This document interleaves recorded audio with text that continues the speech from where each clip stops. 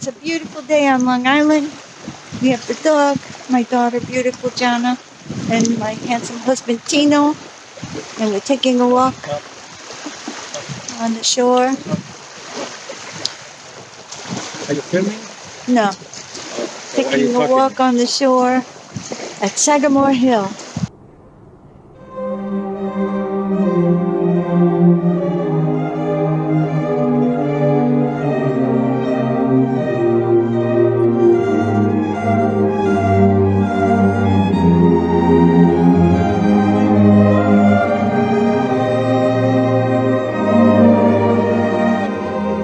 This is just a little teaser to let you know that I have some exciting videos coming up. And now that I'm back in the States with an actual high speed internet connection, it won't be too long before I put them up on YouTube, and I'll be really happy to share it with you.